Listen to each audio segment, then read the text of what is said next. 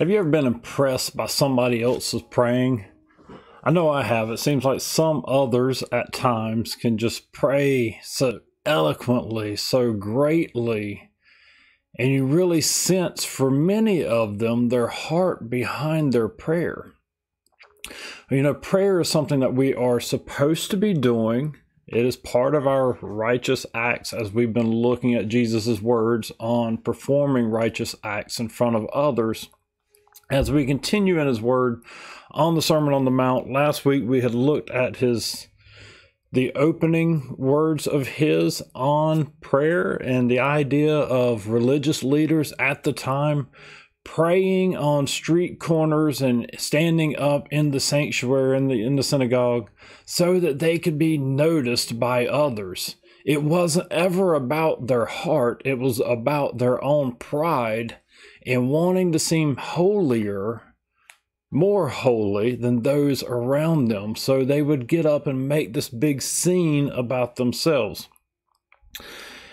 And we looked at it, you know, it was about like all of Jesus's words here on the Sermon on the Mount. He goes right to the heart of the matter. It's not about the outward act as much as it is about the heart that makes you perform the act. And so last week we talked about, you know, instead of praying in public spaces and making a big scene, Jesus said to go in your closet, close the door, and to pray in secret, and that your Father who sees in secret would reward you.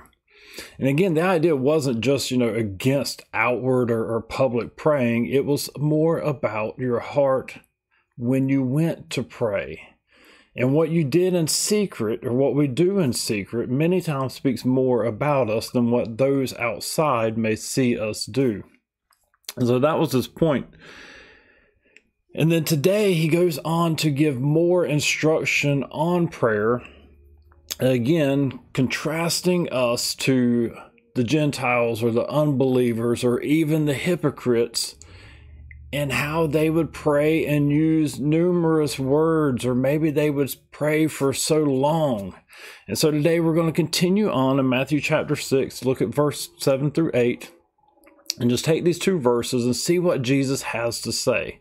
Again, I thank you for joining us. My name is Gerald with Innovate Church in Kannapolis. Still not meeting yet, just in case things decide to turn around for the worse. But we still want to come on here and give God's word to you and pray that He is honored and glorified and that you may be blessed and encouraged by His word. So, again, today, Matthew chapter 6, verse 7 through 8 says, And when you pray, do not heap up empty, empty phrases as the Gentiles do, for they think that they will be heard for their many words. Do not be like them, for your Father knows what you need before you ask Him. So again, he's contrasting what he requires of us in our prayers versus those that are just adding empty words, empty phrases. Some translations say babbling. it says, do not just use empty babble or do not just babble on in your prayers. And it reminds me of somebody trying to tell me a story of something that had happened, you know, and they want to include every little minute detail.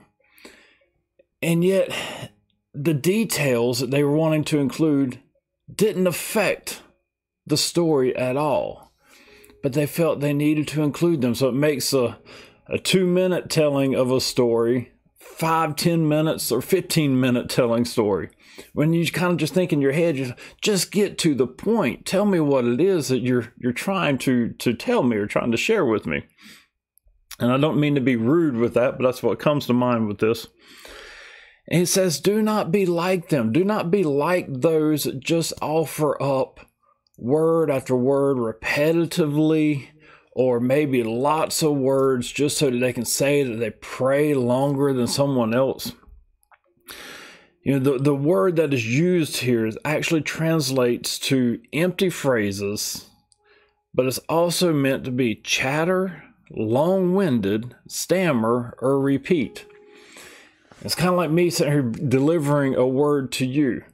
Could I go on for an hour, hour, or hour and a half? For sure. There's lots more into this, but I always want to keep these messages short and brief as I can to get to the point.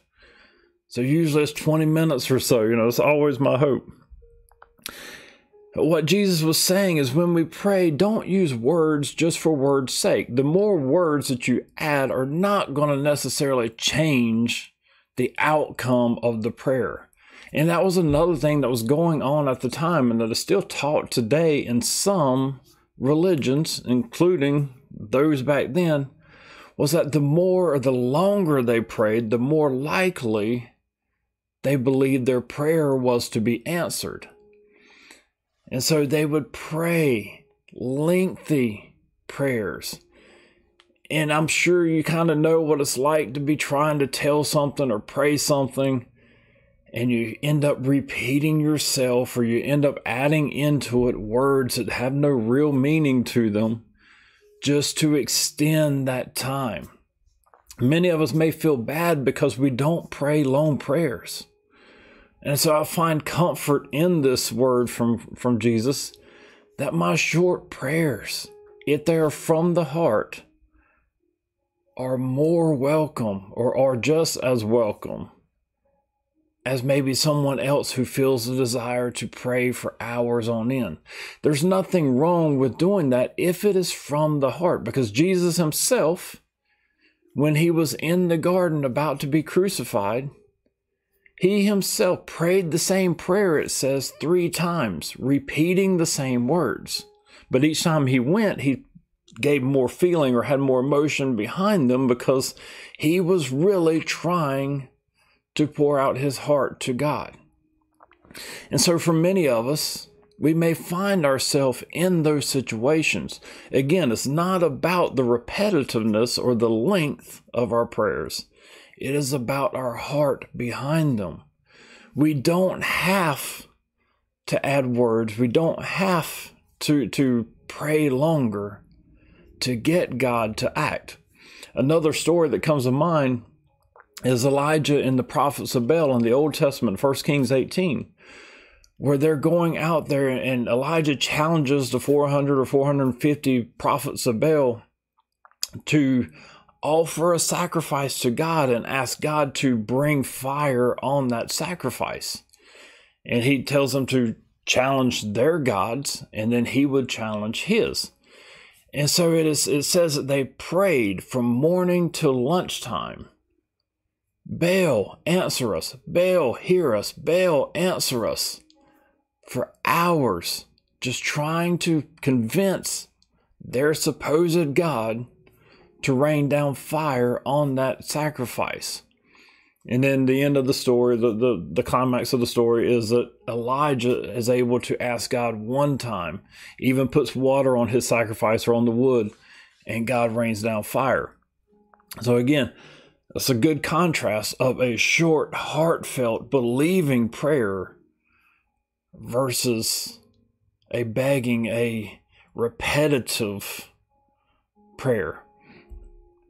Uh, you can actually look at that and even say, you know, maybe the, the prophets of Baal were looking at it so looking at their prayers so that they didn't look bad, versus Elijah, who was all about making God the point of praise, the point of worship, the point of awesomeness, as he was able to rain down that fire on them, and he even uh, even mocks the uh, the prophets of Baal.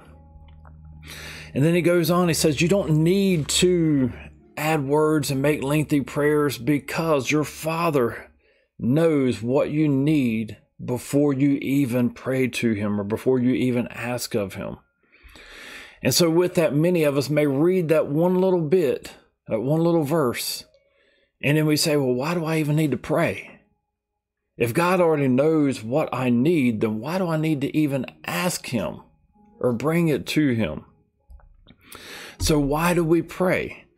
I like John Calvin's words here. He says, Believers do not pray with the view of informing God about things unknown to him or of exciting him to do his duty, kind of like the prophets of Baal were trying to do, or of urging him as though he were reluctant, again, trying to change his mind. On the contrary, they pray in order that they may arouse themselves to seek him that they may exercise their faith in meditating on his promises, that they may relieve themselves from their anxieties by pouring themselves into his bosom. In a word, that they may declare that from him alone they hope and expect, both for themselves and for others, all good things. And it's possibly what you may have heard before from Soren Kierkegaard, who says, Prayer does not change God, but it changes him who prays. So, throughout the scriptures, we are told over and over to cast our cares, to bring our requests. Psalm 55 says, Cast your, Psalm 55, verse 22, cast your burden on the Lord and he will sustain you. 1 Peter 5, 7. Cast all your anxiety on him because he cares for you. Philippians 4 6. Do not be anxious about anything, but in everything, by prayer and supplication with thanksgiving, let your requests be made known to God. So just because our Father, God, sees or knows of our needs and our desires, does that mean that He just casts them out without us ever asking? Some He does, I do not doubt. But is it possible that He has even greater things awaiting us waiting on us to just ask. Because many of us may even approach our prayer or approach God and be afraid to ask for those things that we desire. At Matthew 7 7, Jesus says, Ask and it will be given to you. Seek and you will be you will find. Knock and it will be open to you. For everyone who asks receives, and the one who seeks finds, and to the one who knocks it will be open. So, are you asking of God from your heart for the things that you really need? You know, again, it's a great contrast versus those that were just praying, just making requests, praying out loud, praying with many words, or praying lengthy prayers for themselves. That's not what God wants. God wants to know what His children what they believe he can give for them or what he may have stored up for them or what he can offer to them. And he's awaiting, I keep saying awaiting, he's waiting for his children just to ask.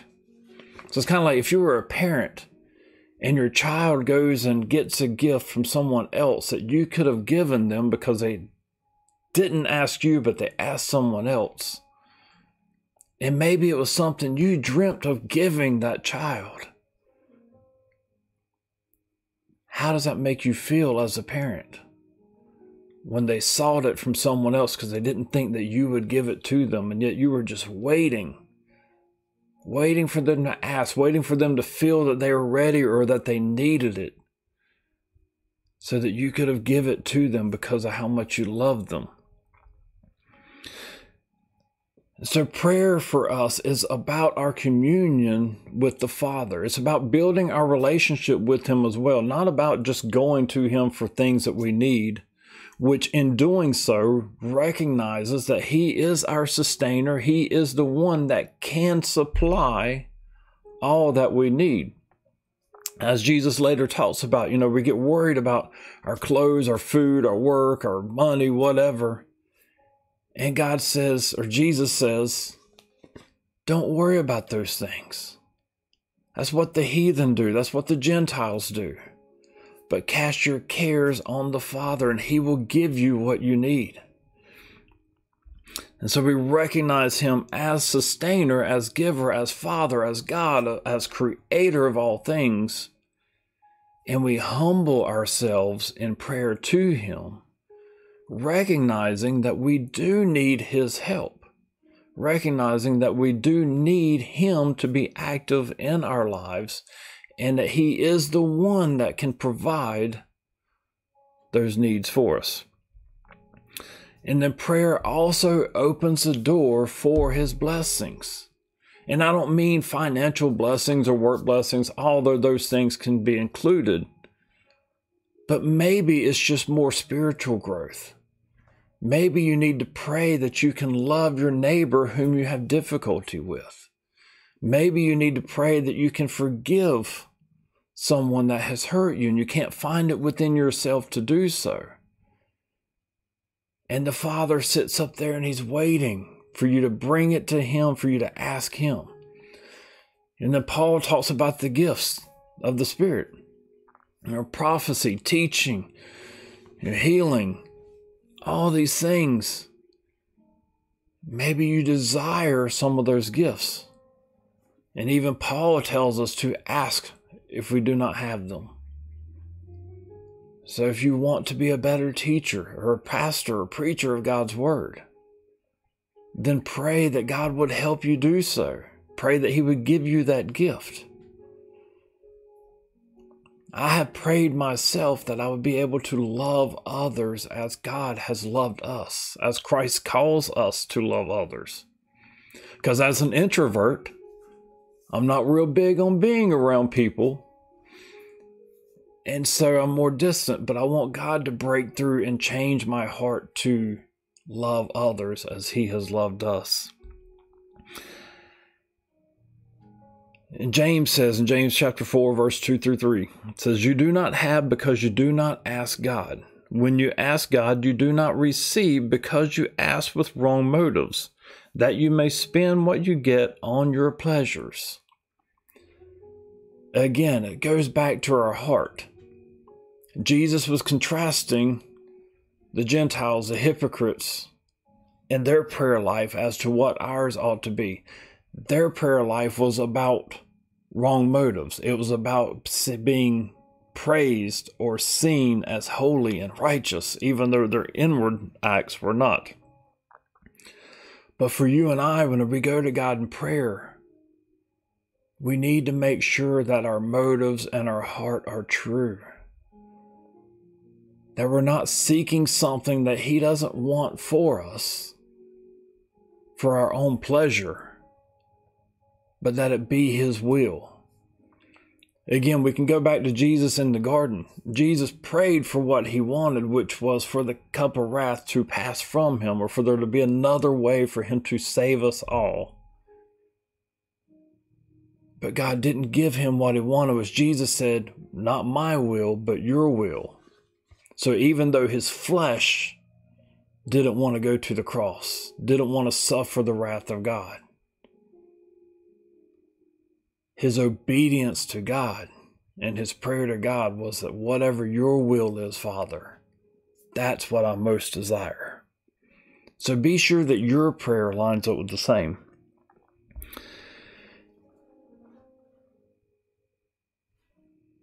When your prayers are from the heart, that's what is required. Again, it's not about the words you say. It's not about the length of your prayers. You pray with your heart, and God will answer those prayers. Doesn't mean we'll get everything we want. Again, it needs to line up with His will. But if it's from our heart, He will answer it. One of those heart prayers that I pray that you would have made if you haven't already is for salvation from God. You know, many people give a rote, a spelled out way to pray for salvation. And it's all biblical, but Jesus never tells us to pray this, this, and this for salvation. He says to believe, trust, turn, and follow me. And so, with that, will you pray from your heart that Christ would save you? Would you pray from your heart that you repent from sin and that you trust in Jesus? Pray from your heart that He will help you to walk in that every day. Again, it's not about the words, it's about your heart. And is your heart open to receive Christ as Savior today? You need to answer that question. So, with that, if you feel that, if you feel your heart moved to do so, then pray with me. Pray these words. Again, it's not the words, it's the heart. Jesus, I know I'm a sinner. I know that I've failed you. But I know that you went to the cross and that you died for my sins. And I want to believe in you today. I want to put my trust in you today. Make me new. Help me to live in light of you and your eternity from this day forth as a saved being by your grace. And it's not by my works, but by your work on the cross that I'm saved. Amen. Friends, I pray that you've received Christ's salvation. If you have, shoot me a message. Let me know. Again, I'd love to pray for you, give you any resources I can to help you in that faith walk with Christ.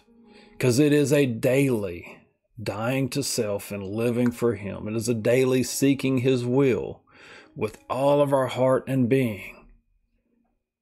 It's not about our words, it's about our heart. Friends, I pray you have a blessed day. Again, shoot us a message, leave us a comment if we can pray for you in any way. We'd be glad to. Have a great week this week, friends.